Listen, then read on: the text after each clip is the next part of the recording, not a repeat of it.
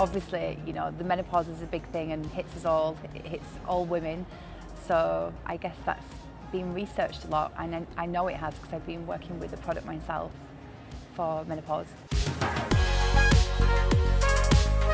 I guess the most common would be hot flushes, maybe mood swings. Um, hormonal changes can do lots of different things, but particularly it can um, have an impact on your skin. And it's a fact that the collagen reduces and declines as we get older, but particularly when we get to menopause.